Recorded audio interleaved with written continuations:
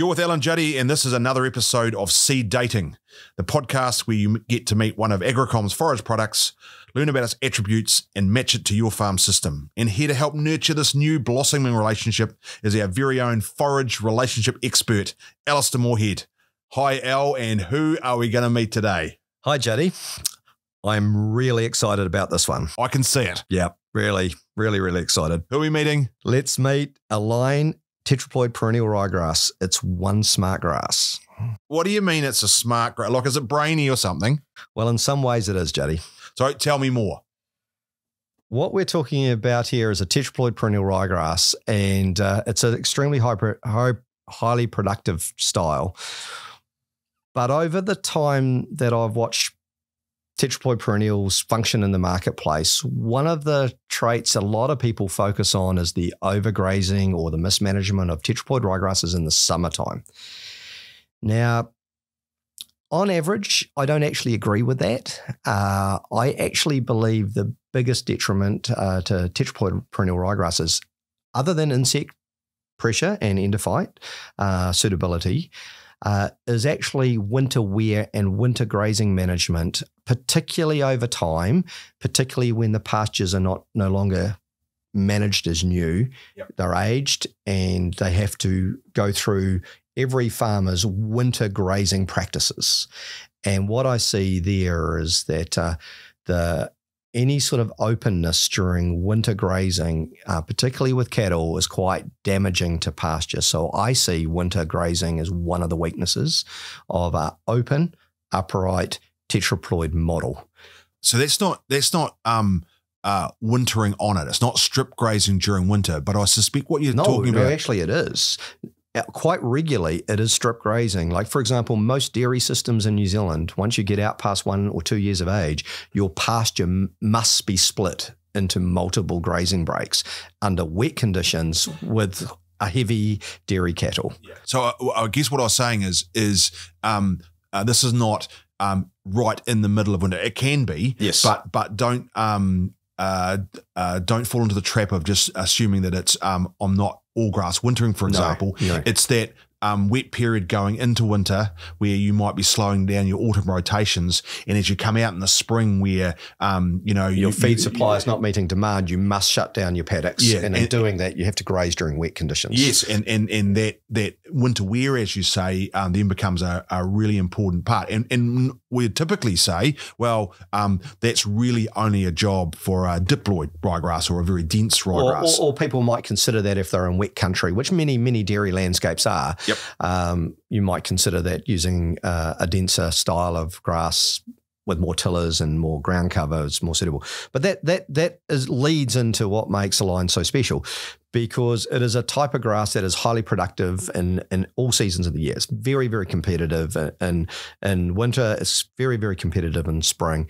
And it, it is a, an extremely dominant summer and autumn producer. Mm. So they are the, the seasonality traits of it. Um, but as I've just described to you, one of the hesitancies I've often had with the tetraploid model is just what farmers do to pastures in winter, particularly in late winter and early spring wet weather grazing. And at this time, uh, Align has this awesome trait of actually um, sort of, I wouldn't never say hunkering down because it's still yielding, but actually becoming very, very dense.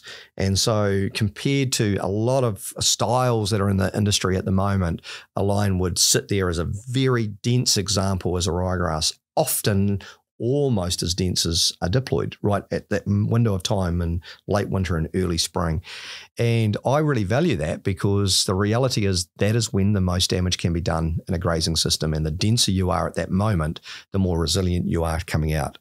It will not protect you against a wet weather grazing event. Align will still take some damage, yep. but relatively speaking, it's a really smart way to get there. And it's mm-hmm. smart because that is not how Align looks for the rest of the year.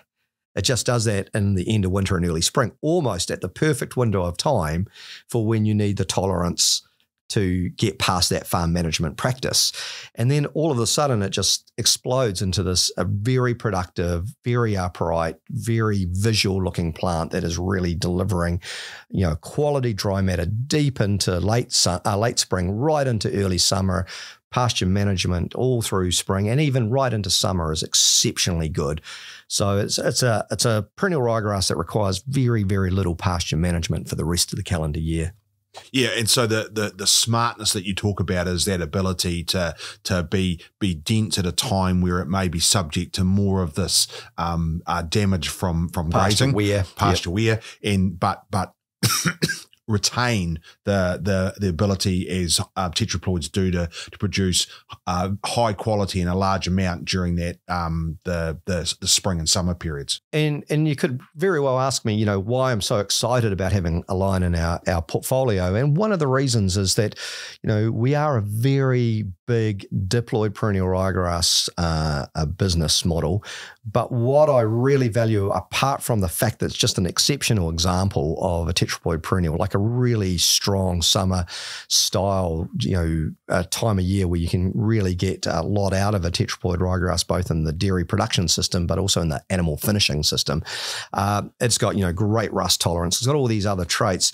But what really interests me is particularly in a landscape where we may slowly see a reducing stocking rate spring and summer pasture management becomes a bigger and bigger issue on farm as stocking rates soften. And if you're a business that is still feeding large cows, focusing on per head performance and less about per hectare performance, you're trying to get value out of a per head outcome.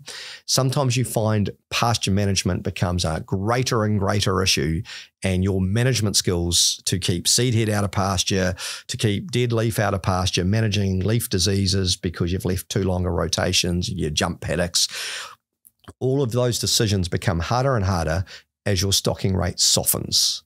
And I did not want to be without a high performance tetraploid ryegrass in an environment that uh, grazing management may become harder and harder because of a reducing stocking rate.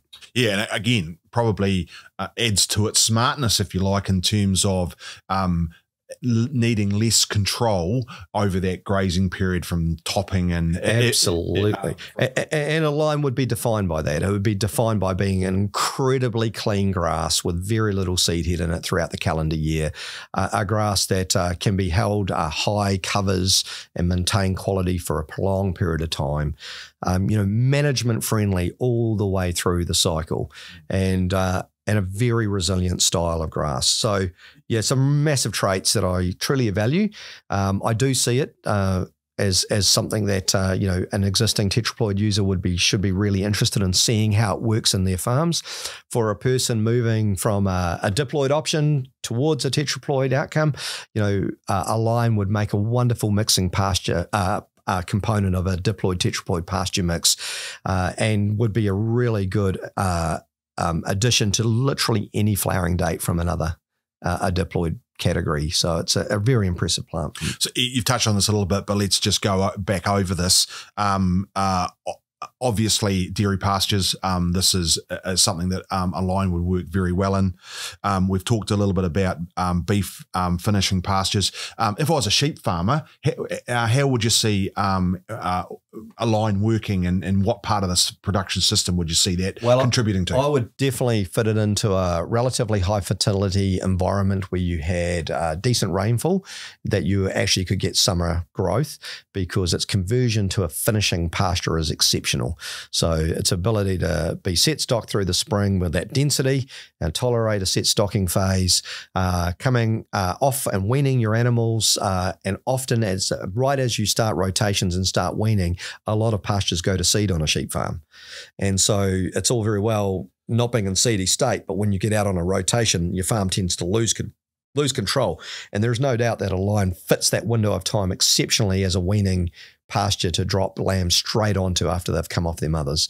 Uh, and then it just carries on. And so mixed with a thing, uh, a clover content like a tribute white clover or a relish red clover, those those combined would create an awesome you know, post weaning finishing feed for young stock all the way through, um, you know, early summer basically. And, as, and it's a good, um, it's a good uh, grass to hold clover content. Yeah, absolutely. Tetraploids are, are, normally typically really solid, mainly because of the high level utilization and you're consistently grazing to target residuals really well. Quite often you need good management not to overgraze them.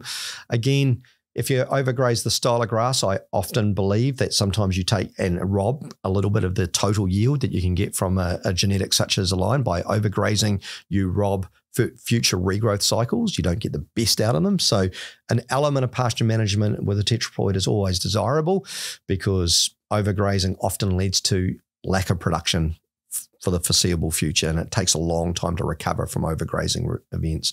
So I see it takes a little bit to, to manage. I think the density uh, under those conditions of Align again would benefit it for those moments.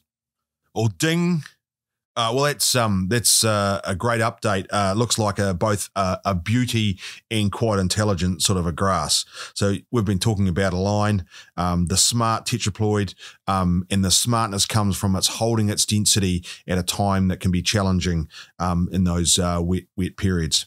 Um, it's very high dry matter producer has a very strong summer and autumn growth um, and looks like it's just a all round really smart grass. So um, quite eye catching and and uh, looks to be uh, very intelligent. So today I'm identifying as a uh, as a dairy farmer, um, and Align looks like it's going to uh, tick all the boxes for me. So I'm swiping right. And you've been listening to another episode of Seed Dating with Al and Juddy, and we hope we can catch another episode soon.